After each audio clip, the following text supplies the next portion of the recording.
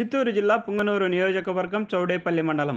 ప్రముఖ శక్తి స్వరూపిణి శ్రీ బోయకొండ అమ్మవారి నవరాత్రి ఉత్సవాలలో భాగంగా ఐదవ రోజున సోమవారం అమ్మవారిని పార్వతీదేవిగా అలంకరించారు. వేకువజాముననే ఆలయ వేద పండితులు ఆలయ అర్చకులు అమ్మవారిని మేల్కొల్పి ప్రత్యేక అభిషేకాలు చేసి రంగురంగుల పుష్పాలతో అమ్మవారిని పార్వతీదేవిగా అలంకరించారు. ఆలయ ఆవరణంలో వివిధ హోమాలు నిర్వహించారు. ఈ కార్యక్రమాన్ని ఆలయ chairman M Shankar Narayana EO Chandramouli ఆలయ ధర్మకర్త పూర్ణిమ మోహన్ రాయల్ శ్రీమతి ఏ ఈశ్వరమ్మ శ్రీమతి శ్రావణి వెంకటరమణారెడ్డి శ్రీమతి మంజుల ఆలయ అర్చకులు అధికారులు సిబ్బంది పాల్గొన్నారు.